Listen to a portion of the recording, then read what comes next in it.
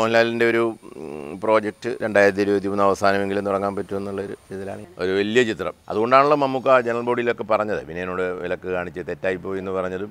ആ ഒരു തീരുമാനം എപ്പോഴെങ്കിലും വേണ്ടിയിരുന്നില്ല എന്ന് തോന്നിയിട്ടുണ്ട്. റൈറ്ററെ മാറ്റണമെന്നുള്ള ചെറിയ ഇഷ്യൂവിൽ ഞാൻ ദിലീപിനെ മാറ്റിയിട്ട് ജയസൂര്യ കൊണ്ട് സ്വന്തം മുലയെരിഞ്ഞു കൊടുക്കുന്ന ഒരു സ്ത്രീ കഥാപാത്രത്തോളം വലിയ വിപ്ലവകാരിയെ ലോകം കണ്ടിട്ടുണ്ടോ? അതൊക്കെ സബ്ജക്റ്റാണ് അത് വേണേൽ മോട്ടിച്ചെന്ന് പറയാം. പക്ഷെ അതങ്ങനെ പറയുന്നില്ല. ലാലൊന്നും അറിഞ്ഞിരുന്നേ ഇല്ല ലാലിന്റെ കൂടെയുള്ള എവിടെയോ ഉണ്ടല്ലോ ഒരു ഉപജാപക വൃന്ദം. ഞാൻ എന്നെ ചട്ടം പഠിപ്പിക്കാൻ വന്ന ആൾ സിനിമയിൽ വേണ്ടെന്ന് വെച്ചാൽ എന്നുള്ള രീതിയിലുള്ള ചില ഡിസ്കഷൻസ് ഇങ്ങനെ ഒരു സോറി പറഞ്ഞിട്ടൊരു ജീവിതം നമുക്ക് വേണ്ടല്ലോ. നമുക്ക് വ്യക്തിത്വം ഇല്ലേ? എനിക്ക് വരുന്ന ആദ്യത്തെ മെസ്സേജ് ഇന്ദ്രന്റെ ആയിരിക്കും. ചിലപ്പം ആരും കാണാതെ വയ്ക്കുന്നതാണെന്ന് എനിക്കറിയില്ല. നമസ്കാരം. ഒരുപാട് ഇൻട്രൊഡക്ഷൻ ഒന്നും ആവശ്യമില്ല. ഒരൊറ്റ വാക്ക് മതി. സിനിമയിലെ ഒറ്റയാൻ ഇന്ന് എന്റെ കൂടെയുള്ളത് ബഹുമാനപ്പെട്ട ശ്രീ വിനയൻ സാറാണ്. സർ നമസ്കാരം. നമസ്കാരം. ഒരുപാട് സന്തോഷം. അതിനേക്കാൾ കൂടുതൽ ഭയങ്കര എക്സൈറ്റ്മെന്റോട് കൂടിയിട്ടാണ് ഇത്രയും വളരെ ഇന്റലിജന്റ് ആയിട്ടുള്ള എക്സ്പീരിയൻസ്ഡ് ആയിട്ടുള്ള സാറിന്റെ ഒരു ഇന്റർവ്യൂ എടുക്കാൻ സാധിച്ചതിൽ ഒരുപാട് സന്തോഷം. ഒരു ചരിത്ര സിനിമയാണ് പത്തൊൻപതാം നൂറ്റാണ്ട് എന്ന് പറയുന്നത്. എങ്ങനെയാണ് ഈ ഒരു സിനിമയിലേക്ക് എത്തിയത്? ഇങ്ങനൊരു ചരിത്ര സിനിമ എന്റെ മനസ്സിൽ ഒത്തിരി നാളുകളായിട്ട് മനസ്സിലുണ്ടായിരുന്നതാണ്. കാരണം എന്റെ നാട് അമ്പലപ്പുഴയാണ്. എന്റെ നാടിനടുത്ത് ഉള്ള ഒരു ദേശമാണ് ആറാട്ടുപുഴ. അമ്പലപ്പുഴയ്ക്ക് അടുത്തുള്ള സ്ഥലമാണ് ആറാട്ടുപുഴ. അപ്പോൾ അവിടെ ഇങ്ങനെ ഒരു ചരിത്ര നായകനെ പറ്റി ഞാൻ കൊച്ചുനാളിലോട്ട് കേട്ടിട്ടുണ്ട്. കേട്ടിട്ടുണ്ട്. അത് സിനിമയാക്കണമെന്ന് ആഗ്രഹിച്ചിട്ടുണ്ട്. ഒരു നമ്മുടെ ചരിത്രകാരന്മാരാൽ തമസ്കരിക്കപ്പെട്ട ഒരു ഒരു ധീര നവോത്ഥാന നായകനായി ഇദ്ദേഹം. നമ്മൾ പഠിച്ചപ്പോൾ മറ്റാരെക്കാട്ടിലും കൂടുതൽ ശ്രദ്ധിക്കാവുന്ന ഒരു ഒരു കഥാപാത്രമായിട്ടും ചരിത്രത്തിൽ വന്നില്ല. ആരും സിനിമ എടുക്കാൻ തുനിഞ്ഞില്ല. കാരണം സിനിമയൊക്കെ എടുക്കാനായിട്ട് ഒത്തിരി സ്കോപ്പുള്ള ഒരു ഭയങ്കര സാഹസികനായി അദ്ദേഹം അപ്പോൾ സിനിമയാക്കണമെന്നുണ്ടായിരുന്നു. അത്ഭുതദ്വീപ് കഴിഞ്ഞപ്പോൾ ഞാൻ സത്യത്തിൽ മനസ്സിൽ പ്ലാൻ ചെയ്ത പോലുമാണ്. പക്ഷേ ഇപ്പോഴാണ് അത് ഒത്തുവന്നത് അത് സിനിമയാക്കിയത്. കോവിഡിനൊക്കെ ശേഷം ഏകദേശം കോവിഡ് എന്ന് പറയുന്ന ഒരു പ്രതിസന്ധി നമുക്കറിയാം. നമ്മൾ എല്ലാവരും വളരെയധികം ബുദ്ധിമുട്ടി.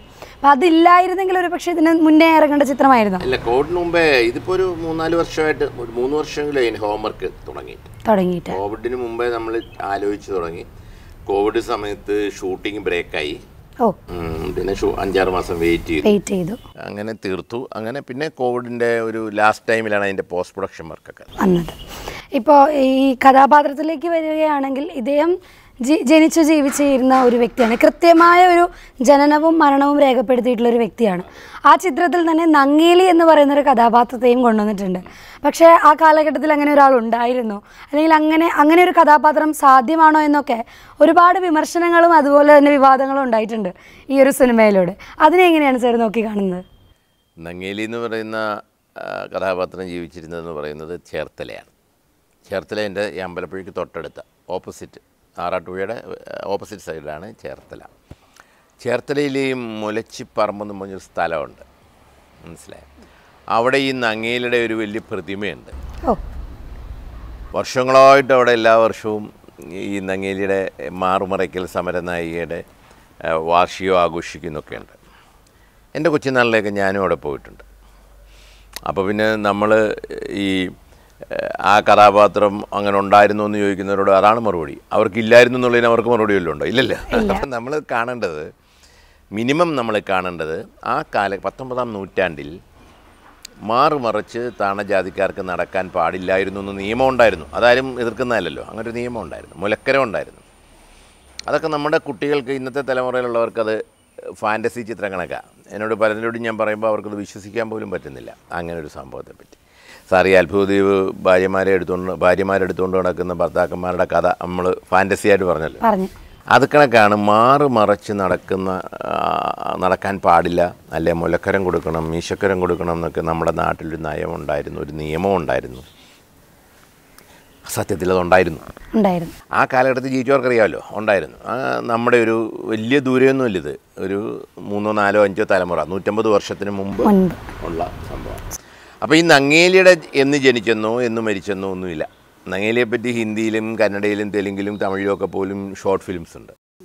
ഇല്ലേ? കേട്ടിട്ടുണ്ടല്ലോ നങ്ങേലിയെ പറ്റി ഞാൻ പറയുമ്പോഴല്ല നിങ്ങളെ? ചിലപ്പോൾ വേലായുധ പണിക്കരെ ഞാൻ പറഞ്ഞിട്ടായിരിക്കും കേട്ടത്. കേട്ടത് അതെ. അതേസമയം നങ്ങേലിയെ നിങ്ങളൊക്കെ കേട്ടിട്ടുണ്ട്. കേട്ടിട്ടുള്ള കഥാപാത്രം. സ്കൂളുകളിൽ പഠിച്ചിട്ടുണ്ട് ആ പഠിച്ചിട്ടുണ്ട്. അപ്പം വേലായുധ പണിക്കരെ പറ്റി ചരിത്രത്തിൽ അങ്ങേര് ജനിച്ചത് ആയിരത്തി എണ്ണൂറ്റി ഇരുപത്തഞ്ചിലാണെന്നും മരിച്ചത് ആയിരത്തി എണ്ണൂറ്റി എഴുപത്തിനാലിലാണെന്നും കൃത്യമായ രേഖയുണ്ട്. അദ്ദേഹത്തിന്റെ വീടുണ്ട് അവിടെ ട്രസ്റ്റുണ്ട് ഒക്കെ ഉണ്ട് ആ നങ്ങേലിയെ കൂട്ടി യോജിപ്പിച്ചത് ഒരു ചലച്ചിത്രകാരന്റെ സ്വാതന്ത്ര്യം. ഞാനത് പറഞ്ഞിട്ടുണ്ട് അതിന് എല്ലായിടത്തും അത് അതുകൊണ്ടാണ് ഞാൻ ഇതിന് ആറാട്ടുപുഴ വേലായുധ പണിക്കർ എന്ന് പേരിടാഞ്ഞത്. നമ്മളിട്ടിരിക്കുന്ന പേരെന്താണ്? പത്തൊൻപതാം പത്തൊമ്പത് പത്തൊമ്പതാം നൂറ്റാണ്ടിൽ നടന്നിരുന്ന ചില അങ്ങേയറ്റം മ്ലേച്ഛമായ നമുക്ക് ചിന്തിക്കാൻ പോലും പറ്റാത്ത ചില സമ്പ്രദായങ്ങൾക്കെതിരെ അതുകൂടി വെളിച്ചത്ത് കൊണ്ടുവരാൻ വേണ്ടിയാണ് ഈ ചിത്രം എടുത്തത്. ഞാൻ ഈ ഒരു ചോദ്യത്തിന് ശേഷം ചോദിക്കാൻ വരെയായിരുന്നു കാരണം ചരിത്ര സിനിമകൾ എപ്പോഴും അവരുടെ പേരിലാണ് അറിയപ്പെടുന്നത്. പഴശ്ശിരാജ കുഞ്ഞാലി മരക്കാർ അങ്ങനെയുള്ള പേരുകളാണ് നമ്മൾ കൂടുതലും കണ്ടിട്ടുള്ളത്.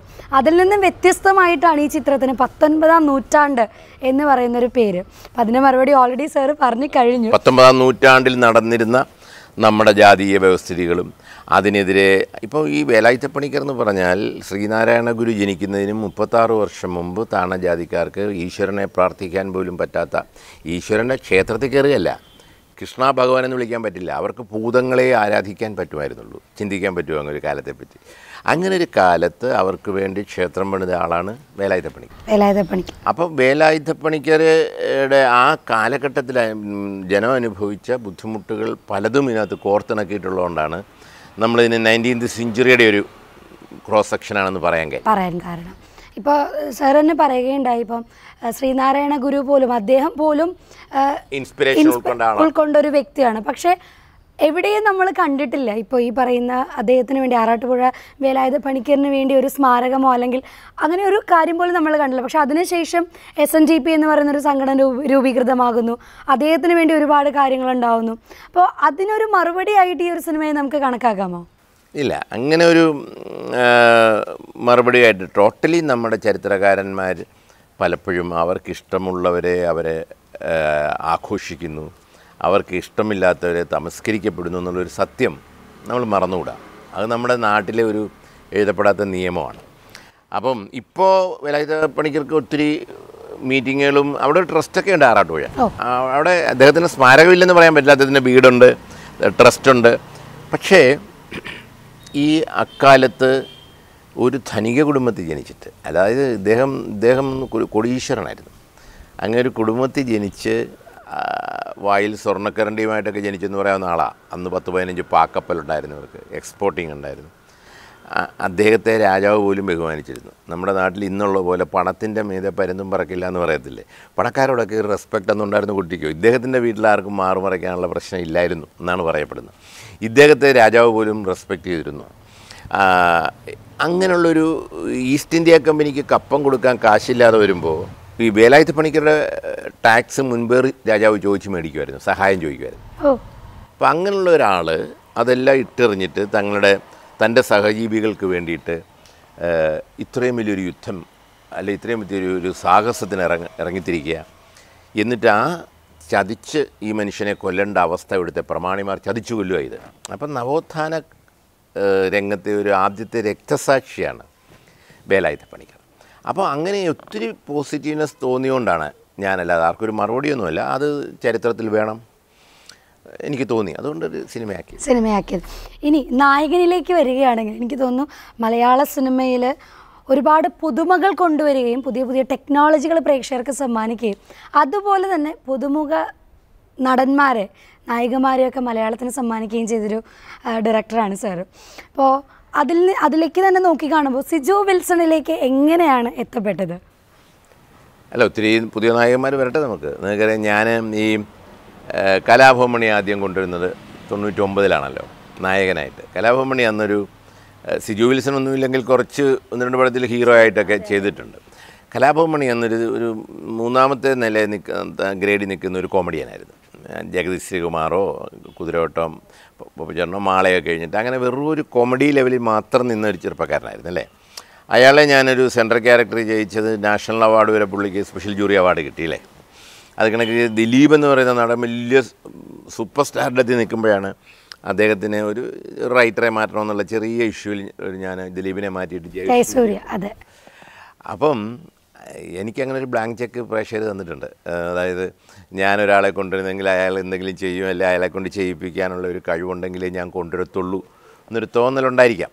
അതുകൊണ്ട് തന്നെ സിജുവിന്റെ എന്റെ മുന്നിൽ വന്നു പെട്ടപ്പം സിജുവിന്റെ ഒരു അതിനകത്തുള്ള ഒരു ആത്മാർത്ഥതയും അയാളുടെ കണ്ണിലെ ഒരു ഫയറും അയാൾക്ക് ഈ വേഷം കൊടുത്താൽ അയാൾ ജീവൻ മരണ പോരാട്ടമായിട്ട് ഇത് കാണും എന്നൊക്കെ എന്നോട് പറഞ്ഞുകൊണ്ട് അയാൾക്കൊരു ചാൻസ് കൊടുത്തു. അത്രയേ ഉള്ളൂ. അത് അയാൾ വിജയിച്ചു. അത് അയാളുടെ കഴിവാണ്. എത്രത്തോളം എഫേർട്ട് ഉണ്ടായിരുന്നു. ഇപ്പം ഒരു പുതിയ നടനെ കൊണ്ടുവരുമ്പോൾ ഒരുപാട് കാര്യങ്ങൾ ശ്രദ്ധിക്കാനുണ്ട്. ഒരു പുതിയ ടെക്നോളജി നമ്മൾ പരിചയപ്പെടുത്തുമ്പോഴും ഒരുപാട് കാര്യങ്ങൾ ശ്രദ്ധിക്കാനായിട്ടുണ്ട്. അപ്പം ഈ പത്തൊൻപതാം നൂറ്റാണ്ട് എന്ന് പറയുന്ന ചിത്രം പ്രേക്ഷകരിലേക്ക് എത്തിയപ്പോൾ എന്തൊക്കെ റിസ്ക് എലമെന്റുകളായിരുന്നു സാറിന് ഫേസ് ചെയ്യേണ്ടി വന്നത്? പത്തൊമ്പതാം നൂറ്റാണ്ടിന്റെ ഏറ്റവും വലിയ റിസ്ക് എലമെന്റ് എന്ന് പറഞ്ഞാൽ അതിൽ ആ കാലഘട്ടം പുനഃസൃഷ്ടിക്കുക എന്ന് പറയുന്നതാണ് അതിന്റെ ഏറ്റവും വലിയ റിസ്ക് എലമെന്റ് പിന്നെ സിജുവിനെ കണക്കൊരു ചെറുപ്പക്കാരനെ ഇത്രയും വലിയൊരു കഥാപാത്രമായിട്ട് മോൾഡ് ചെയ്യുക. അത് ജനം അക്സെപ്റ്റ് ചെയ്യുക. അയാളെ കളരി പഠിപ്പിക്കുക കുതിരയോട്ടം പഠിപ്പിക്കുക അയാളെ അയാളെ ആയോധന കലകൾ പഠിപ്പിക്കുക. അതുപോലെ തന്നെ ഒരു പുതിയ കുട്ടിയെ കണ്ടെത്തിയിട്ട് ആ കുട്ടിയെ നമ്മൾ നമ്മുടെ നങ്ങിയിൽ കയാതുവിനും ആ കുട്ടിയെ ശരിയാക്കും. പിന്നെ മാത്രമല്ല നൂറുകണക്കിന് ജൂനിയർ ആർട്ടിസ്റ്റ് ഉണ്ട് അതിനകത്ത്. നിങ്ങൾ ശ്രദ്ധിച്ച് കാണും.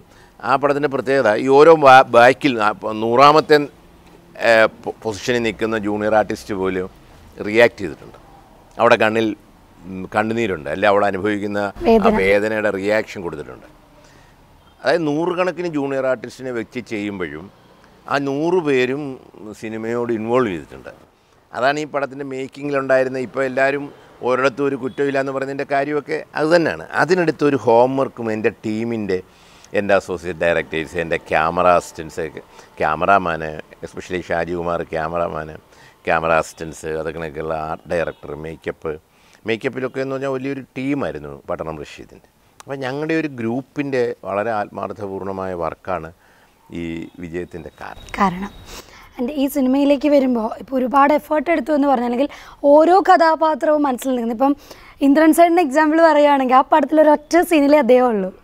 പക്ഷെ പടം കഴിഞ്ഞ് നമ്മൾ തിയേറ്ററിൽ നിന്ന് പുറത്തേക്ക് ഇറങ്ങുമ്പോൾ എവിടെയൊക്കെയോ അദ്ദേഹം നമ്മളുടെ അടുത്തുണ്ട് നമ്മുടെ മൈൻഡിലുണ്ട്. അത്രയും അപ്പം എത്രത്തോളം ശ്രദ്ധിച്ചാണ് കാസ്റ്റിംഗ് സാറ് മെയിന്റെയിൻ ചെയ്തത്? നമ്മളൊരു ഇത്രയും വലിയ സിനിമ പ്രത്യേകിച്ച് ചെയ്യുമ്പോൾ ഫസ്റ്റ് സ്ക്രിപ്റ്റാണ്. ആരൊക്കെ എന്തൊക്കെ പറഞ്ഞാലും നമ്മൾ ഈ രണ്ടര മണിക്കൂറിൽ തീർക്കുന്ന സ്ക്രിപ്റ്റിന്റെ ഡ്രാഫ്റ്റാണ് എന്റെ ഫസ്റ്റ് സ്റ്റെപ്പ്. അത് വിജയിച്ചാൽ ആദ്യത്തെ സ്റ്റെപ്പ് വിജയിച്ചു. പിന്നുള്ളത് ആണ്. കാസ്റ്റിംഗ് നമുക്ക് പാളിച്ച പറ്റിയാൽ ഇത് ഈ കണ്ടിരിക്കുന്നവർക്ക് ഉൾക്കൊള്ളാനായിട്ട് ബുദ്ധിമുട്ടായിരിക്കും. അതിപ്പം നമ്മുടെ മനസ്സിലുള്ള ഇമേജിനെ മാറ്റിമറിച്ചുകൊണ്ട് ഒരാൾ ചെയ്ത ചെയ്യുന്നതാണ് എപ്പോഴും ഇൻട്രസ്റ്റിങ് അത് പോലും അത് ചെയ്തില്ലെങ്കിൽ കുടുങ്ങിപ്പോകും നമ്മൾ അല്ലേ അതെ. അപ്പോൾ ഓരോ ആളെ തിരഞ്ഞെടുക്കുമ്പോഴും അതിനകത്ത് ഇന്ദ്രൻ സാ അച്ഛനായിട്ടൊരു ലാസ്റ്റ് ഒരു പത്ത് മിനിറ്റിൽ പത്ത് മിനിറ്റ് ഉണ്ട് ആ സീൻ ആ പത്ത് മിനിറ്റ് സീനിൽ ഇന്ദ്രൻസ് വന്നാൽ നമ്മുടെ നെഞ്ചുലയ്ക്കും എന്നുള്ളൊരു തീരുമാനം ഞാൻ എടുത്തിരുന്നതാണ് നെഞ്ചുലയ്ക്കുകയും ചെയ്തല്ലോ. അതെ അതെ ഭയങ്കരമായിട്ട്. കാരണം നമ്മൾ ആ പടം കഴിഞ്ഞ് ഇറങ്ങി പോകുമ്പോൾ ഒരു എവിടെയൊക്കെയോ ഇന്ദ്രൻ ചേട്ടൻ ഒരു കണ്ണീരോടെ അല്ലാതെ നമുക്ക് ഓർക്കാൻ പറ്റില്ല എന്നുള്ളതാണ് സത്യം. ആൻഡ് ഈ ഒരു സിനിമയിലൂടെ ഒരു കാലത്ത് സിനിമയിൽ നിന്നും ഏകദേശം ഒരു പത്ത് വർഷത്തിലധികം മാറി നിൽക്കപ്പെട്ടിട്ടുള്ള ഒരു വ്യക്തിയാണ് സാറ്. ഈ സിനിമയിലൂടെ ഞാൻ മാറിയൊന്നുമില്ല ഞാനിവിടെ ഉണ്ടായിരുന്നു. അവർ മാറ്റി നിർത്തിയത്. പക്ഷെ ആ മാറ്റി നിർത്തപ്പെട്ടപ്പോൾ പോലും പല സൗഹൃദങ്ങളും ഇപ്പം സാറിന്റെ ഒരു സിനിമയാണെന്ന് പറയുമ്പോൾ അസോസിയേറ്റ് ആയിക്കോട്ടെ അല്ലെങ്കിൽ മേക്കപ്പ് ആയിക്കോട്ടെ മ്യൂസിക് ആയിക്കോട്ടെ പകുതി വെച്ച് നിർത്തി പോകേണ്ട അവസ്ഥയിലേക്ക് വരുന്നു. അല്ലെങ്കിൽ ഏറ്റെടുക്കാൻ ധൈര്യം കാണിക്കാതെ വരുന്നു. അങ്ങനെയൊക്കെയുള്ള കാര്യങ്ങൾ ഉണ്ടായിട്ടുണ്ട്. പക്ഷേ ഈ സിനിമയിലൂടെ ആ സൗഹൃദങ്ങൾ അല്ലെങ്കിൽ പഴയ ആ ഒരു കൂട്ടുകെട്ടും കാര്യങ്ങളൊക്കെ തിരികെ വന്നു എന്നൊരു വിശ്വാസമുണ്ടോ? തിരികെ പിടിച്ചെടുത്തതാ. തിരികെ പിടിച്ചെടുത്തതാ. വന്നൊന്നുമല്ലല്ലോ. ഞാൻ പത്ത് വർഷത്തോളം ഇങ്ങനെ ഒരാവശ്യം എന്റെ നിലപാടുകളുടെ പേരിലല്ലേ? ഞാൻ പറഞ്ഞത്. ഞാൻ ഇവിടുത്തെ തൊഴിലാളികൾക്ക് വേണ്ടിയാണ് ഒരു അസോസിയേഷൻ ഉണ്ടാക്കിയത് ഒരു ട്രേഡ് യൂണിയൻ അത് ആ ട്രേഡ് യൂണിയൻ ഉണ്ടല്ലേ അന്ന് തൊഴിലാളിക്ക് സെൻട്രൽ ഗവൺമെന്റിൽ നിന്നുള്ള ആനുകൂല്യങ്ങൾ കിട്ടത്തുള്ളായിരുന്നു. അതായത് നമുക്കിവിടെ ഉണ്ടായിരുന്നത് ഒരു മാക്ട എന്ന് പറഞ്ഞ സിനിമയിലെ ഒരു ക്ലബ്ബായിരുന്നു. അത് മാറ്റി മാക്ട ഫെഡറേഷൻ എന്ന് പറയുന്ന ഒരു ട്രേഡ് യൂണിയൻ കൊണ്ടുവന്നു. അതാണ് ഇപ്പോൾ ഇവർ കൊണ്ട് ഈ ഫെഫ്ക രണ്ടും ഒന്ന് തന്നെ. കാരണം അത് മാറ്റിയിട്ട് പേര് മാറ്റിയത് പക്ഷേ അത് കൊണ്ടുവരാനായിട്ട് ബാക്കി സ്റ്റേറ്റിലൊക്കെ ഇരുപത്തഞ്ച് വർഷമായിട്ടും അത് ഉണ്ടാ നിലവിലുണ്ടായിട്ട് നമ്മളിവിടെ വന്നില്ല. ഞാൻ തമിഴ്നാട്ടിൽ ഈ വാസന്തി ലക്ഷ്മിയുടെ തമിഴ് പടം കാശി ഷൂട്ട് ചെയ്യുമ്പോഴാണ് എന്നെ അതിന്റെ ഒരു ഫംഗ്ഷന് കൊണ്ടുപോകുന്നു അതിഥിയായിട്ട് കൊണ്ടുപോകാണ് അവിടെ ചെല്ലുമ്പോൾ ഇവർക്ക് വീട് വെക്കാൻ പൈസ കൊടുക്കുന്നു. കിഡ്നി ഓപ്പറേഷന് പൈസ കൊടുക്കുന്നു. കുട്ടികൾക്ക് തൊഴിലാളികളുടെ കുട്ടികൾക്ക് സിനിമയിലെ യൂണിറ്റ് ബോയ്സിന്റെ കുട്ടികൾക്ക് നല്ല മാർക്കുണ്ട് സ്കോളർഷിപ്പ് കൊടുക്കുന്നു. ഇതൊക്കെ ഞാൻ പറഞ്ഞു നമ്മുടെ നാട്ടിലതില്ലല്ലോ എന്ന് ചോദിച്ചു. അപ്പോഴാണ് പറഞ്ഞത് ഭരതരായ സാറാന്ന് പറഞ്ഞു പിന്നെ ഇതിന് നമുക്ക് ട്രേഡ് യൂണിയൻ വേണം അതിന്റെ കാർഡ് വേണം. ഇപ്പോൾ ഈ കണ്ണൂർ കാർഡ് എന്നൊക്കെ പറഞ്ഞ് കിട്ടുന്ന ആ കാർഡാണ്. ആ കാർഡ് ഇവിടെ ഇല്ലായിരുന്നു. അപ്പോൾ അത് അങ്ങനെ ട്രേഡ് യൂണിയൻ രജിസ്ട്രേഷന് വേണ്ടിയിട്ട് അന്ന് അതിനും അല്ലാതെ ഞാനൊരിക്കലും ഡയറക്ടർമാരെ സംഘടിപ്പിക്കാനോ ഒന്നുമല്ല അത് ഉദ്ദേശിച്ചു തൊഴിലാളിക്ക് വേണ്ടിയാണ് ഉദ്ദേശിച്ചത്. ആ തൊഴിലാളിയെ കൊണ്ട് തന്നെ എന്നെ പുറത്താക്കി വേറെ സംഘടന ഉണ്ടാക്കാൻ ഇവർക്ക് സാധിച്ചു. അത് നമ്മുടെ നാടിന്റെ ഒരു ചരിത്ര സംഭവം തന്നെ ആയിട്ട് കിടക്കട്ടത്. ഞാൻ അതിനുവേണ്ടിയാണ് ഉണ്ടാക്കിയത്. അപ്പോൾ അവിടെ നിലപാടെടുത്തു. അപ്പോൾ ഒരു സംഘടന ഉണ്ടാക്കുമ്പോൾ നമുക്ക് ചില നിലപാടുകൾ വേണ്ടി വരും. മനസ്സിലായോ? ഒരു സംഘടന വരുമ്പം അതിനകത്ത് ഡയറക്ടറും അല്ലെങ്കിൽ ആർട്ടിസ്റ്റുകളും ഒക്കെ ചില ചില ചട്ടക്കൂടും ചില അച്ചടക്കവും വേണ്ടി വരും. അങ്ങനെ ഒരു നടന്റെ ഒരു ഇഷ്യൂ. അതിനോട്ട് ഞാൻ കൂടുതൽ പോകേണ്ടത് നിങ്ങൾക്കറിയാം അതൊക്കെ വന്നു.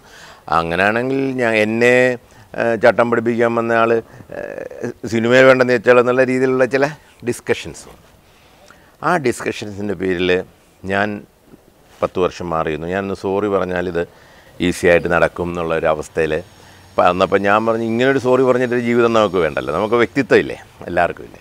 നമ്മളിപ്പോൾ സിനിമാക്കാരനാകുന്നു വലിയ കാശുണ്ടാക്കുന്നു ഒന്നും വെച്ചിട്ടല്ലല്ലോ കുട്ടനാട്ടിൽ ജനിച്ചതല്ലേ അപ്പോൾ അതുകൊണ്ട് ഞാൻ അവിടെ ഉറച്ചു നിന്നു. പിന്നെ ഞാൻ പറയുന്നത് നേരാണെന്ന് ജനത്തിനെ ബോധ്യപ്പെടുത്താൻ വേണ്ടിയാണ് ഞാൻ ഈ കോമ്പറ്റീഷൻ കമ്മീഷനിൽ പോയത് സുപ്രീം കോടതി വരെ പോയിട്ട് ഇവർക്കെല്ലാം ഫൈൻ മേടിച്ചു കൊടുത്തു. അത് എനിക്ക് ഇവരുടെ ഫൈൻ മേടിച്ചു കൊടുത്തുകൊണ്ട് ജീവിക്കാനൊന്നുമില്ല. ചെയ്ത തെറ്റാണ് ഞാൻ പറഞ്ഞത് ശരിയാണ് എന്ന് സ്ഥാപിക്കാൻ വേണ്ടിയായിരുന്നു. അതുകൊണ്ടാണല്ലോ മമ്മൂക്ക ജനറൽ ബോഡിയിലൊക്കെ പറഞ്ഞത് വിനയനോട് വിലക്ക് കാണിച്ച് തെറ്റായിപ്പോയി എന്ന് പറഞ്ഞതും. അപ്പം ഇപ്പോൾ ഞങ്ങളെല്ലാം ഒന്നാണ്. എല്ലാവരും ഒന്നാണ്. ഈ വ്യക്തമായ തീരുമാനങ്ങളും നിലപാടുകളും എടുക്കുന്നത് കൊണ്ട് അല്ലെങ്കിൽ ഇങ്ങനൊരു ട്രേഡ് യൂണിയൻ അസംഘടിതരായ തൊഴിലാളികൾക്ക് വേണ്ടിയാണ് സാർ സംഘടിപ്പിച്ചത്. ആ ഒരു തീരുമാനം എപ്പോഴെങ്കിലും വേണ്ടിയിരുന്നില്ല എന്ന് തോന്നിയിട്ടുണ്ട് ലൈഫിൽ എപ്പോഴെങ്കിലും? അങ്ങനെ തോന്നിയാൽ നമ്മൾ നമ്മളല്ലാതാകത്തില്ല. എന്നാൽ പിന്നെ പണിക്ക് പോകണോ നമ്മൾ ചില തീരുമാനമൊക്കെ എടുക്കുമ്പോൾ നമ്മളാണ് നമുക്ക് തോന്നുന്നു നമ്മൾ എന്ത് ചെയ്യാം തൊഴിലാളിക്ക് വേണ്ടി എടുത്തത് തൊഴിലാളി ഒന്നും എന്നെടുത്തു എന്ന് പറഞ്ഞിട്ടല്ലല്ലോ? അല്ല അതെ. ഞാൻ കുട്ടനാട്ടിലെ കർഷക തൊഴിലാളികൾക്കിടയിൽ ജനിച്ച ഒരു പാവപ്പെട്ട ജനം ജീവിക്കുന്ന ഒരു നാട്ടിലെ ഒരു ഇടത്തരം കർഷക കുടുംബത്തിൽ ജനിച്ചൊരു മനുഷ്യനാണ്. ഞാനിപ്പോൾ ഒത്തിരി പാവപ്പെട്ടവന്റെ കഷ്ടപ്പാടും തൊഴിലാളികളെ ഇതൊക്കെ കണ്ടു വളർന്നതാണ്. അപ്പോൾ ഇവിടെ വരുമ്പോൾ നമുക്കന്നൊരു ഡ്രൈവർക്ക് നമ്മുടെ നാട്ടിൽ മുന്നൂറ് രൂപ നൂറ്റമ്പത് രൂപയായിരുന്നു ശമ്പളം. ട്വന്റി ഫോർ അവേഴ്സ് വണ്ടി ഓടിക്കുമ്പോൾ. മനസ്സിലായി? അപ്പോൾ ഒരു ട്രേഡ് യൂണിയൻ വന്നപ്പം അന്ന് തമിഴ്നാട്ടിൽ അറുന്നൂറ് രൂപയുണ്ട്. അന്ന് ഒരു ഇവിടെ ഒരു കൂലിപ്പണിക്കാരൻ ഇത് രണ്ടായിരത്തി ഏഴിലൊക്കെ അല്ലേ? പത്ത് എഴുന്നൂറ് രൂപ ശം കൂലിപ്പണിക്കാരന് കിട്ടും. അപ്പോൾ ഒരു ഡ്രൈവർക്ക് ട്വന്റി ഫോർ അവേഴ്സിന് നൂറ്റമ്പത് രൂപയുള്ളൂ സിനിമയിൽ അത് മുന്നൂറ് രൂപയൊക്കെ ആക്കണമെന്നും പറഞ്ഞാണ് ഫസ്റ്റ് ഡിമാൻഡ് കൊടുക്കുന്നത് അപ്പോൾ അതൊരു തൊഴിലാളി നേതാവിന്റെ മുഖംമൂടി വന്ന് ഒരു ഒരു ഒരു ഫിഗർ വന്നു എനിക്ക്. അപ്പോൾ അതൊന്നും പലർക്കും ഇഷ്ടപ്പെട്ടില്ല. അപ്പോൾ എന്നോട് പറഞ്ഞ് ഞങ്ങൾ ടിപ്പ് കൊടുക്കാറുണ്ടല്ലോ. എന്തിനാണ് ശമ്പളം കൂട്ടി കൊടുക്കുന്നത് ഞാൻ പറഞ്ഞു ടിപ്പ് വേറെ ശമ്പളം വേറെ. അതെ രണ്ടും രണ്ടാണ്. രണ്ടാണ്. അപ്പോൾ അവരുടെ അതിന് സമരം ചെയ്യേണ്ടി വന്നു. നാല് ദിവസം സിനിമാക്കാർ സമരം തൊഴിലാളികൾ സമരം ചെയ്തു. നൂറ്റമ്പത് രൂപ ശമ്പളം മുന്നൂറാക്കി. ഞാൻ പറഞ്ഞു വന്നത് നമ്മുടെ ചില നിലപാടുകളാണ്. അപ്പോൾ നമ്മളതൊക്കെ ചെയ്തില്ലെങ്കിൽ നമ്മൾ ചാകാൻ കിടക്കുമ്പോൾ വെറും പട്ടിയെ പോലെ ചാകണോ? അത് വേണ്ട. കുറച്ച് ആണത്തത്തോടുകൂടി ചാകാം എന്നുള്ള രീതി തന്നെയാണ് ഞാൻ ആ നിലപാടിൽ തന്നെ ഉറച്ചു. ഉറച്ചു ഇങ്ങനെ നിലപാടിന്റെ കാര്യം പറയുമ്പോഴാണ് പ്രസിദ്ധമായ ഒരു ഡയലോഗാണ് സിനിമയിൽ നിന്നും പുറത്താക്കിയാലും എന്റെ വീട് പാലാരിവട്ടത്താണ്. അവിടെ ഒരു തട്ടുകട ഇട്ടാണെങ്കിലും ഞാൻ ജീവിക്കും. അതാണ് എന്റെ മറുപടി. എന്നാണ് സാറ് പറഞ്ഞിട്ടുണ്ടായിരുന്നത്. അതെ. അങ്ങനെ എപ്പോഴും വ്യക്തമായ മറുപടികളാണ് വിനയൻ സാറിന്റെ ഭാഗത്തു നിന്നും ഉണ്ടായിട്ടുള്ളത്. സാറ് ലൈഫിൽ ഒരു എടുത്തുചാട്ടക്കാരനാണോ എന്ന് ചോദിച്ചാൽ എന്തായിരിക്കും മറുപടി? ലൈഫിലൊരു കാലുപിടുത്തക്കാരനല്ല എന്നുള്ളതാണ് അതിന്റെ മറുപടി. മറുപടി. അതാണ് വ്യക്തമായിട്ട് പറയാനായിട്ട് ഈ സിനിമയിൽ എവിടെയൊക്കെ എവിടെയൊക്കെ അല്ല സിനിമയിലുടനീളം നമ്മൾ ഐത്തം എന്നൊരു വാക്ക് സംസാരിക്കുന്നുണ്ട്. വളരെ വ്യക്തമായിട്ട് ജനങ്ങൾക്കത് മനസ്സിലാകുന്നുമുണ്ട് ഈ ഒരു കാര്യം. ഒരുപാട് പ്രശ്നങ്ങൾ അല്ലെങ്കിൽ എനിക്ക് തോന്നുന്നു ഇപ്പോഴും എവിടെയൊക്കെയോ സമൂഹത്തിന് നേരിടേണ്ടി വരുന്നൊരു പ്രശ്നമാണ് ഈ ഐത്തം എന്ന് പറയുന്നത്. അതിനെക്കുറിച്ച് സർ ഡയറക്ടർ എന്ന കണ്ണിലൂടെ നോക്കുക നമ്മുടെ ഇപ്പോഴത്തെ സമൂഹത്തിൽ. ഇപ്പോഴത്തെ സമൂഹം അത് പല രീതിയിലാണ് ഈ അയിത്തം അതെ. അത് പണ്ട് ജാതീയ ഞാൻ പറഞ്ഞില്ലേ അന്നത്തെ കാലത്ത് വ്യക്തമായി പറഞ്ഞാൽ ഈഴവൻ മുപ്പത്താറടി പുലയൻ എഴുപത്തിരണ്ടടി പറയാൻ എൺപത്താറടി ഇങ്ങനെ ഓരോരുത്തർക്കും ഡിസ്റ്റൻസ് ഉണ്ട്. കണ്ടിട്ടില്ലേ പഴയ ഇതിൽ ഹോയ് ഹോയ് എന്നും പറഞ്ഞ് ഇങ്ങനെ പോകുമ്പോൾ അത്തരം സീനൊക്കെ ഉണ്ടായിരുന്നു നമ്മുടെ പടത്തിൽ. നമ്മൾ ഈ ലെങ്ത് കൂടി കൊണ്ട് മുറിച്ചത്. അങ്ങനെ ഒന്ന് രണ്ട് സീൻ ഉണ്ടായിരുന്നു ഇവിടെ അപ്പോൾ അങ്ങനെ വിളിച്ചു പറഞ്ഞുകൊണ്ട് പോകുമ്പോൾ ഓപ്പോസിറ്റുള്ള ഈ താണയാധികാരി മാറിക്കൊടുക്കണം. ഇതാരുടെയും കുറ്റമല്ല. ഇതൊരു സവർണരും അവർണരും തമ്മിലുള്ള പ്രശ്നം വിനയം ചൂ പിന്നെ ആക്കുന്നു എന്നൊക്കെ ചിലരൊക്കെ എഴുതിയാൻ കണ്ടു. അങ്ങനെ ഇതിനെ കാണണ്ട. നമ്മുടെ നാട്ടിൽ നമ്മുടെ നാട്ടിൽ നമ്മുടെ മുത്തച്ഛന്റെ മുത്തച്ഛന്റെ മുത്തച്ഛൻ ജീവിച്ച നാട്ടിൽ ഇങ്ങനെയൊക്കെ ഉണ്ടായിരുന്നു. നമ്മുടെ ഒരു മുത്തച്ഛൻ അന്ന് ഭയങ്കര ക്രൂരനായിരുന്നു. ഇങ്ങനെ ആൾക്കാരെ തല്ലിയിരുന്നു എന്നുള്ളൊരു ചരിത്രം ഉണ്ടെങ്കിൽ അത് പറയുന്നതിന് നമ്മളല്ലല്ലോ. നമ്മുടെ അഞ്ചാറ് തലമുറയ്ക്ക് മുമ്പല്ലേ? അല്ലേ? അന്ന് അങ്ങനെ ആയിരുന്നൊരു നിയമം. മനസ്സിലായോ? അന്ന് അത്തരം നിയമങ്ങൾ എന്ന് പറഞ്ഞാൽ ഈ ഐറ്റത്തിന്റെ പേരിൽ ആളെ മാറ്റി നിർത്തുക. അവിടെ അവരെ തൊടാൻ പാടില്ല അവർ അവർ ഭക്ഷണം കഴിക്കുന്നത് നിങ്ങൾ കണ്ടിട്ടില്ലേ? തറ ഞാൻ കരിമാടിക്കുട്ടിനകത്ത് കാണിച്ചിട്ടുണ്ട്. തറ കുഴിച്ചിട്ട് കഞ്ഞി വിളമ്പി കൊടുക്കുക. ഒന്ന് ആലോചിച്ച് നോക്ക് ചിന്തിക്കാൻ പറ്റുമോ ഇന്ന്? ഇന്ന് അങ്ങനെ ആരെങ്കിലും വിളിച്ചാൽ അവനെ അടിയും കൊടുത്ത് വിളമ്പുന്നവനെ എന്ത് ചെയ്യുവൻ എന്നാലോചിച്ച് നോക്കിയേ. അപ്പം അങ്ങനെ ഒരു കാലത്ത് ഇവിടെ ജീവിച്ചിരുന്നു. ആ ആ കാലം മാറ്റി മറിക്കാൻ വേണ്ടി ഈ വേലായുധപ്പണിക്കരെ കണക്കുള്ള എത്ര പേര്? നമുക്കറിയുന്ന ശ്രീനാരായണ ഗുരു തൊട്ട് ഇങ്ങോട്ടുള്ളവരാ. അയ്യങ്കാളി ശ്രീനാരായണ ഗുരു സഹോദരൻ അയ്യപ്പൻ ഇങ്ങനെ ഇങ്ങനെ വന്ന് പത്മ മന്നത്ത് പത്മനാഭം വരെയുള്ള ഒത്തിരി പേര് അതിനു വേണ്ടി പ്രയത്നിച്ചിട്ടുണ്ട്. ഒത്തിരി പേര് ജീവൻ കൊടുത്തിട്ടുണ്ട്. വേലായുധപ്പണിക്കർ ജീവൻ കൊടുത്ത ആൾ ആദ്യമായിട്ട്? കൊന്നുകളഞ്ഞയാളെ.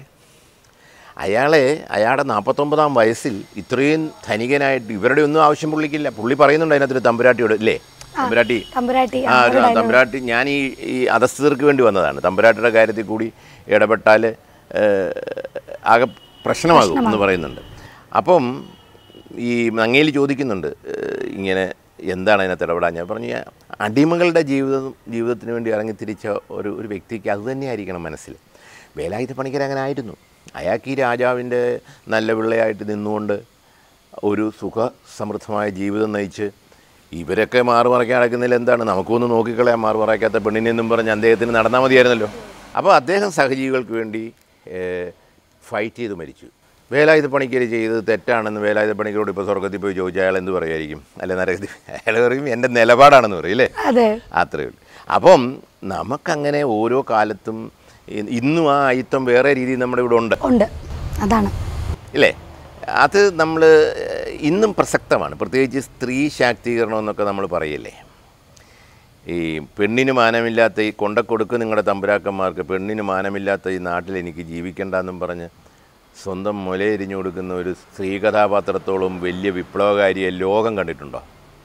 പറയാൻ പറ്റുമോ പറയാൻ പറ്റുമോ ഇല്ല ഒരിക്കലും ഇല്ല. എന്തുകൊണ്ട് എന്നിട്ട് അവരെ പറ്റി പറയാ? അവരെ പറ്റി ഒരു ഒരു ഒരു ഈ ഈ കഥാപാത്രം നമ്മളിൽ നാളുകളായിട്ടുണ്ട്. നമ്മൾ കേൾക്കുന്നുണ്ട് അല്ലേ? പാഠപുസ്തകത്തിൽ പഠിച്ചെന്ന് പോലും പറയുന്നു. അപ്പോൾ അതൊരു കഥാപാത്രം ഒരു കഥാപാത്രം ജനം ഓർ ഓർക്കണം അപ്രപാളിയിൽ വേണമെന്നുള്ള ഒരു ആഗ്രഹം തന്നെ എനിക്കുണ്ടായിരുന്നു ഒന്ന് കൂട്ടിക്കൊള്ളു. സിനിമയിലാണെങ്കിലും ജീവിതത്തിലാണെങ്കിലും ഒരുപാട് റിസ്ക് എടുത്ത ഒരു വ്യക്തിയാണ് വിനയൻ സാറ് ഈ റിസ്കുകളൊക്കെ കഴിഞ്ഞ് പുറകോട്ടൊന്ന് തിരിഞ്ഞു നോക്കുമ്പോൾ അവിടെ എപ്പോഴും ഒരു സക്സസ് ആണ് കാണാൻ സാധിക്കുന്നത്. പുതിയ തലമുറയിലേക്ക് വരുമ്പോൾ അല്ലെങ്കിൽ അവർക്ക് ഒരു ന്യൂ ജനറേഷൻ ട്രെൻഡ് ഇപ്പോൾ വന്നുകൊണ്ടിരിക്കുകയാണ് സോ അവരോട് സാറിന് എന്താണ് പറയാനായിട്ടുള്ളത്? ഈ റിസ്ക് എടുക്കാനൊന്നും മനഃപൂർവം നമ്മൾ റിസ്ക് കുറച്ച് മടക്കി പോക്കലിട്ടുകൊണ്ട് നടക്കുന്ന ആളൊന്നും അല്ല. നമ്മളിപ്പോൾ ഒരാളുടെ ആക്സിഡന്റ് ഉണ്ടായി. ആ വണ്ടി ഒരു സ്കൂട്ടറാൻ ഒരു പാവപ്പെട്ട വയസ്സനായ ഒരാളെ ഇടിച്ചു. ഇടിച്ചിട്ട് അവൻ മൈൻഡ് ചെയ്യാതെ പോവാണ്. അവനെ പിടിച്ച് നിർത്തി. നിൽക്കടാ അവിടെ. നീ എന്താ കാണിച്ചത്? തെറ്റല്ലേ? അയാളെ കൊണ്ട് ആശുപത്രി കൊണ്ടു ഇന്ന് നമുക്ക് പറയാം അവനെ അവൻ ഇല്ലയെന്ന് പറഞ്ഞാൽ ആൾക്കാരെ കൂട്ടി അവന് വേണേൽ രണ്ട് കൊടുത്തിട്ട് ആശുപത്രി കൂടി കൊണ്ടുപോയിക്കാം. നീയാണ് ഇടിച്ചത്. നിന്റെ ഭാഗത്തെ തെറ്റ്. ഞാൻ കണ്ടുകൊണ്ട് നിൽക്കുകയാണെന്ന് പറയാം. വേറൊന്നും ചെയ്യാം നമുക്ക്. കണ്ടില്ലെന്നും പറഞ്ഞ് പതുക്കെ ഈ കയ്യിലിരിക്കുന്ന ഫയൽ ഇങ്ങനെ പിടിച്ചിട്ട് നടന്നു പോവാം. നടന്നു പോവാം. മറ്റേ റിസ്ക്കാണ് ഇത് റിസ്ക് ആണ്. അല്ലേ? ഇത്തരം റിസ്ക് എടുക്കുന്നവരെ മനുഷ്യരെന്ന് വിളിക്കണമെന്നാണ് എന്റെ അഭിപ്രായം. ഈ ഒരു ചരിത്ര സിനിമ വന്നു. ഇനി ഞങ്ങൾ പ്രതീക്ഷയോടെ കാത്തിരിക്കുന്ന ഒരു സിനിമയാണ് ഭീമൻ എന്ന് പറയുന്ന ചിത്രം. അപ്പം അതിനെക്കുറിച്ച് സർ സംവിധാനം ചെയ്യാൻ പോകുന്നു. അങ്ങനെയുള്ള ഒരുപാട് ചർച്ചകൾ സോഷ്യൽ മീഡിയയിൽ ഉണ്ടായിട്ടുണ്ട്. അതിനെക്കുറിച്ച് എന്താ സാറിന് പറയാനായിട്ടുള്ളത്? അല്ല ഞാൻ അങ്ങനെ പറഞ്ഞു പോയതാ. കാരണം എനിക്കിനിയും വലിയ സിനിമകൾ തിയേറ്ററിൽ ഭയങ്കര തിയേറ്ററിക്കൽ എക്സ്പീരിയൻസിന് ഏറ്റവും പറ്റുന്ന വലിയ ഫ്രെയിമുകൾ വലിയ ക്യാൻവാസുകൾ ശബ്ദവും അതിനൊക്കെ ഗുണം ചെയ്യുന്ന പടങ്ങൾ എടുക്കണം. അതാണ് ഇപ്പം പ്രേക്ഷകർക്കും ചെറുപ്പക്കാർക്കൊക്കെ ഇഷ്ടം. അത് തന്നെയാണ്. അപ്പോൾ അത്തരം വലിയ സിനിമകളെന്ന് പറയുമ്പോൾ എന്റെ മനസ്സിലുള്ള ഒരു ഒരു പണ്ടത്തെ നേരത്തെ ഞാൻ എന്റെ കോളേജ് പഠിക്കുമ്പോൾ പ്ലേ ആയിട്ട് അവതരിപ്പിക്കാൻ എഴുതിയിട്ടുള്ളതാണ് ഭീമൻ. എനിക്കിഷ്ടമുള്ള ഒരു വലിയ ക്യാരക്ടറാണ് ഭീമനും രാവണനും. ഭീമൻ എന്ന് പറഞ്ഞാൽ ഈ കൗരവരിൽ നൂറ്റൊന്ന് പേരെയും കൊന്നത് ഭീമനാണ്. എല്ലാവരും പാണ്ഡവരും കൗരവരും തമ്മിൽ ധർമ്മയുദ്ധത്തെ പറ്റി പറയത്തില്ലേ? പക്ഷേ നൂറ്റൊന്ന് പേരെയും കൊന്നത് ഭീമനാണ് അർജുനൊന്നുമല്ല ഭീമന്റെ ഗുണമെന്ന് വെച്ചാൽ ഭീമൻ ഈ അസ്ത്രമല്ല ഭീമൻ ദ്വന്ദ്വയുദ്ധം അടിയാണ്. ഒരാളെ കൈ കിട്ടിയാൽ പിടിച്ചുകൊണ്ട് പൊക്കളയും. കിട്ട- കിട്ടത്തില്ല. അപ്പം നമ്മുടെ വിഷ്വലൈസ് ചെയ്യാനായിട്ട് ഭയങ്കര രസമാണ് പക്ഷേ അങ്ങനെയൊക്കെ മനസ്സിലുണ്ടായിരുന്നപ്പോഴാണ് എം ഡി സാറിനെ പോലുള്ള ഒരു നമ്മുടെയൊക്കെ ഗുരുസ്ഥാനീയനായ ഒരു വ്യക്തി ഏ, രണ്ടാം മുഴ എന്ന് പറയുന്ന സിനിമ. അങ്ങനെ അത് ഭീമന്റെ വേറൊരു വെർഷനാണേ കൂടി. അപ്പോൾ ഈ ഭീമന് പ്രസക്തി ഇല്ലാത്തതുകൊണ്ട് ഞാനത് അന്നേ മറന്നു അന്നേ മറന്നു. പിന്നെ ഇപ്പോൾ അത് മോഹൻലാലിന്റെ ഒരു ഇത് കേട്ടു ഭീമനെ എടുക്കുക എടുക്ക അത് നടക്കത്തില്ല എന്ന് കേട്ടു. അപ്പോൾ ഏതായാലും നമുക്ക് നമ്മുടെ ഭീമനെയും കൊണ്ടുവരാം. അത് എന്റെ ഭീമന്റെ മേളിൽ സാറിന്റെ ഭീമൻ ഒരു ബന്ധുവില്ല. സാർ ഇത്രയും ഉയരത്തില്ല. അപ്പം നമ്മുടെ ഒരു കൊച്ചു ഭീമൻ നടക്കുന്നെങ്കിൽ ഞാൻ ഭയങ്കര സന്തോഷവാനാണ്. കാരണം ഭീമന് ഒത്തിരി വിഷ്വൽ സാധ്യതകളും ഭയങ്കര ടച്ചിങ് ഒരു കഥാപാത്രമാണ് ഭീമന്റെ അപ്പോൾ അത് മഹാഭാരതത്തിൽ ആ സിറ്റീസ് ഉള്ള ഭീമനെ അതുപോലെ അവതരിപ്പിക്കണമെന്നൊരു വലിയ ആഗ്രഹമാണ് ഉണ്ട്. ഇനി സാറിന്റെ ആദ്യത്തെ ചിത്രത്തിലേക്ക് വരികയാണെങ്കിൽ മദൻലാൽ ആയിരുന്നു നായകൻ. അപ്പം ആ ഓർമ്മകളെ കുറിച്ച് എന്താണ് സാറിന് പറയാനായിട്ട് ഒത്തിരി ഓർത്താ നമ്മൾ അതൊക്കെ ഒത്തിരി എല്ലാവർക്കും അറിയാവുന്നതാണ്. അതൊക്കെ സൂപ്പർ സ്റ്റാർ അതിനെപ്പറ്റി ഇപ്പോൾ പറഞ്ഞിട്ട് പോകേണ്ട കേരളത്തിലെ ജനങ്ങൾക്ക് അറിയാത്ത കാര്യമൊന്നുമില്ലല്ലോ അതാ പറയാം. അത് അതെന്റെ നാടക ട്രൂപ്പിൽ അഭിനയിക്കാൻ വന്നൊരു പയ്യനായിരുന്നു. അയാൾക്ക് മോഹൻലാലിന്റെ മുഖം ഉണ്ടായിരുന്നു. അങ്ങനെ ഒരു സിനിമ ഉണ്ട് ഒരു കോമഡി ആ സിനിമയാണ് ഇപ്പം അതിന്റെ അതേ കഥയാണ് നമ്മുടെ ഫഹസ് ഫാസിൽ അയാൾ ഞാനല്ല എന്ന് പറഞ്ഞൊരു പടം വന്നിട്ടുണ്ട് വന്നിട്ടുണ്ട്. അതേ സബ്ജക്റ്റാണ് അത് വേണേൽ മോട്ടിച്ചെന്ന് പറയാം. പിന്നെ പക്ഷേ അതങ്ങനെ പറയുന്നില്ല. അത് ആ സിനിമ കണ്ട് ഇൻസ്പയർ ചെയ്തായിരിക്കും അവർ ആ ആ സബ്ജക്റ്റ് തന്നെ പക്ഷേ അതിപ്പം ഞാനെന്നെടുത്തപ്പോൾ മോഹൻലാലിനെതിരെ എന്തോ വലിയ സംഭവം എന്നൊക്കെ പറഞ്ഞ് അത് തെറ്റിദ്ധരിക്കപ്പെട്ട അവസ്ഥയായിരുന്നു. ലാലൊക്കെ ഇപ്പോൾ ലാലൊക്കെ പറഞ്ഞ് ലാലൊന്നും അറിഞ്ഞിരുന്നേ ഇല്ല ലാലിന്റെ കൂടെയുള്ള എവിടെയോ ഉണ്ടല്ലോ ഒരു ഉപജാപക വൃന്ദം. അവരുണ്ടാക്കിയ ഒരു ഇഷ്യൂ അല്ല അതിനകത്തൊന്നുമില്ല. അപ്പം ലാലേട്ടനായിട്ടൊരു പുതിയ സിനിമ ഞങ്ങൾക്ക് പ്രതീക്ഷിക്കാമോ? പിന്നെ അതിന്റെ വർക്ക് അതിന്റെ കഥ ഉണ്ടാക്കൽ നടക്കുകയാണ്. നടക്കുകയാണ് ലാൽ മോഹൻലാലിന്റെ ഒരു പ്രോജക്റ്റ് രണ്ടായിരത്തി ഇരുപത്തി മൂന്ന് അവസാനമെങ്കിലും തുടങ്ങാൻ പറ്റുമെന്നുള്ളൊരു ഇതിലാണ് ഞാൻ ഇരിക്കുന്നത്.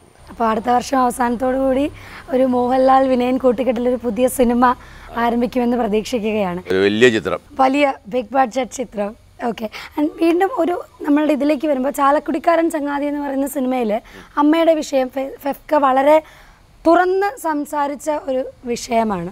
അപ്പോൾ ആ ഒരു പ്രശ്നം ഒരു പക്ഷെ അത് അനിവാര്യമായിരുന്നു എന്ന് സാറിന് തോന്നിയിട്ടുണ്ടോ എപ്പോഴെങ്കിലും. പിന്നെ അതവിടെ കൊണ്ട് തീർന്നല്ല. അവിടെ കൊണ്ട് അത് അതും ഈ പറഞ്ഞ ചാലക്കുടിക്കാരൻ ചങ്ങാതി എന്ന് പറയുന്ന ചിത്രവും ഇപ്പോൾ വേലായുധ പണിക്കരെ പറ്റി തന്നെ കണക്കുള്ള കണക്ക് തന്നെ മണി എന്ന് പറയുന്ന കലാകാരൻ നമ്മുടെ ചരിത്രത്തിന്റെ ഏടുകളിൽ അയാൾക്ക് എവിടെയെങ്കിലും ഒരു രേഖ വേണം. അയാൾക്കൊരു അയാൾക്കൊരു ചിത്രം വേണം. അയാളെ ഓർത്തിരിക്കാനൊരു സ്മാരകം കണക്കൊരു സംഭവം വേണമെന്ന് ആഗ്രഹിച്ചുകൊണ്ട് തന്നെയാണ് ആ ചിത്രം എടുത്തത്. അപ്പോൾ അതിനകത്ത് പറഞ്ഞു പോകുന്ന ചില സിനിമയ്ക്കകത്തെ പൊളിറ്റിക്സ് ഉണ്ടല്ലോ. അതെ. വളരെ വളരെ ഒതുക്കിയാണ് പറഞ്ഞിരിക്കുന്നത്. പക്ഷെ അതും ചരിത്രത്തിന്റെ ഏടുകളിൽ വേണം. കാരണം ഈ സോക്കോൾഡ് അവിടെ അപ്പുറത്തുള്ള വലിയ സിനിമാക്കാരായ ചിലരൊന്നും ഇത് ഒരിക്കലും ഓർക്കാൻ ആഗ്രഹിക്കുന്നവരല്ല. അതുകൊണ്ട് തന്നെ അവർ വേലായുധ പണിക്കരെ തമസ്കരിച്ച കണക്ക് ഇങ്ങനൊരു സംഭവമേ ഉണ്ടായിട്ടില്ല. പറഞ്ഞാൽ മനസ്സിലായി. വിലക്കോ എന്തു അങ്ങനെ അത് ചുമ്മാതൊരു കെട്ടുകഥയല്ലേ? അങ്ങനെ ഒരു സംഭവമില്ല. എന്ന് പറയും. ഉം. ഇങ്ങനെ ഒരു സംഭവം ഇരിക്കട്ടെ ഞാൻ വിചാരിച്ചു. അതുകൊണ്ട് അവർക്കുള്ളൊരു മറുപടി ആയിട്ട് മറുപടിയല്ല അവർ അവർക്കും മറവി മറവി മനുഷ്യന്റെ ഒരു എന്താ പറയുക ആ ഒരു സാധാരണ സ്വഭാവം സ്വഭാവമല്ലേ?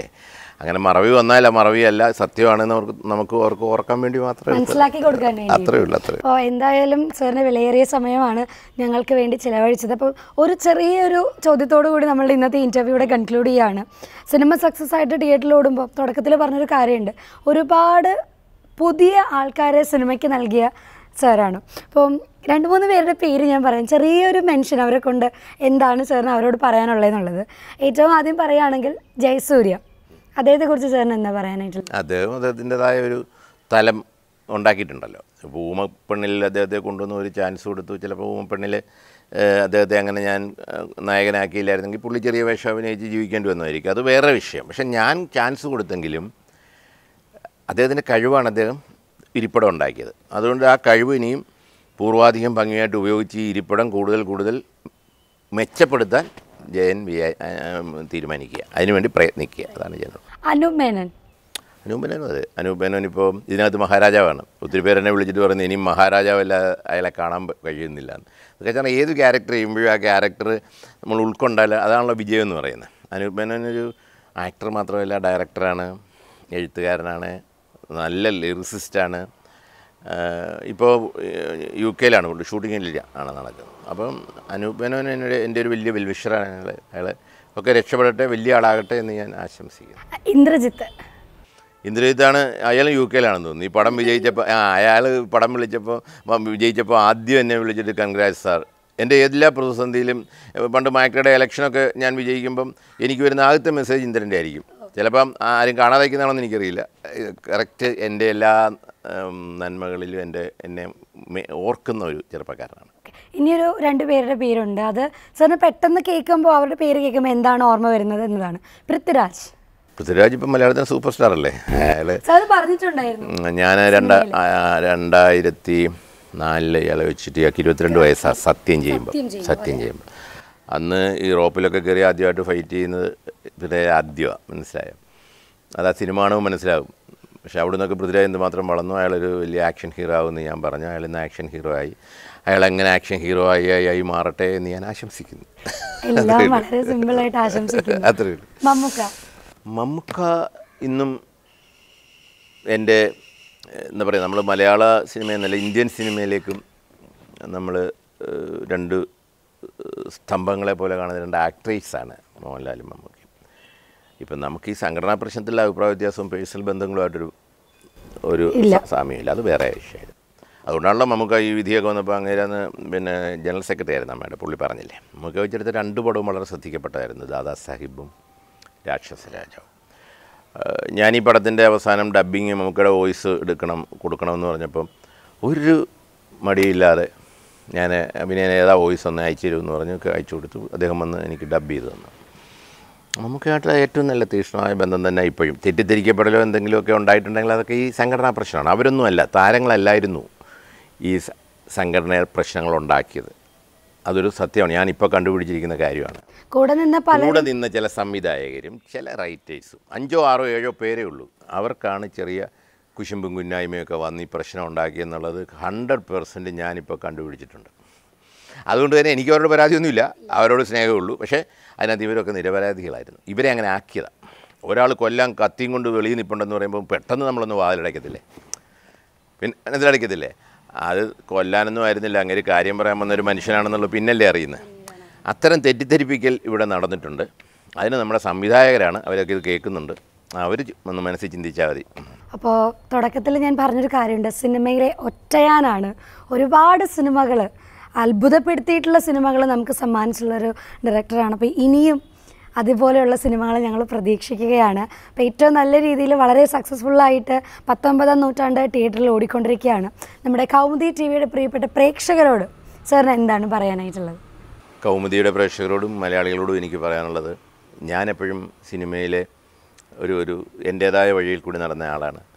ഇപ്പോൾ ഈ പത്തൊമ്പതാം നൂറ്റാണ്ടിനെ പറ്റി പറയുമ്പോൾ ഞാൻ തീർത്തു പറയുന്നു. തികച്ചും വ്യത്യസ്തമായ നിങ്ങൾക്ക് എൻജോയ് ചെയ്യാൻ പറ്റുന്ന രണ്ടര മണിക്കൂർ കൊണ്ട് നിങ്ങളെ ത്രസിപ്പിക്കുന്ന ഒരു ഒരു ചെറുപ്പക്കാർക്ക് ആക്ഷൻ പാക്ക്ഡ് ആയത് ഒരു ഹിസ്റ്റോറിക്കൽ ത്രില്ലർ പ്രായമുള്ളവർക്കും ഹിസ്റ്ററിയെ സ്നേഹിക്കുന്നവർക്കും ഏറ്റവും അധികം ഇഷ്ടപ്പെടുന്ന ഒരു പടം ടെക്നിക്കൽ പെർഫെക്ഷനോടുകൂടിയാണ് വന്നിരിക്കുന്നത്. അത് കാണണം വിജയിപ്പിക്കണം അനുഗ്രഹിക്കണം. ഇനിയും ഇത്തരം പടം ചെയ്യാനുള്ള ഊർജം തരണമെന്ന് മാത്രമാണ് പറയാനുള്ളത്. ഏറ്റവും കൂടുതൽ പ്രേക്ഷകരെ സപ്പോർട്ട് ചെയ്തിട്ടുള്ള ഒരു ഡയറക്ടർ കൂടിയാണ്. പിന്നെയും ഒരുപാട് നല്ല നല്ല സിനിമകൾ സംഭവിക്കട്ടെ എന്ന് ആത്മാർത്ഥമായിട്ട് പ്രാർത്ഥിക്കുകയാണ്. ആൻഡ് ഇത്രയും സമയം സാറിന്റെ കൂടെ ചെലവഴിക്കാൻ പറ്റില്ല. ഒരു വലിയ ഭാഗ്യമായിട്ട് കണക്കാക്കുകയാണ്. താങ്ക് യു സർ നന്ദി. നമസ്കാരം.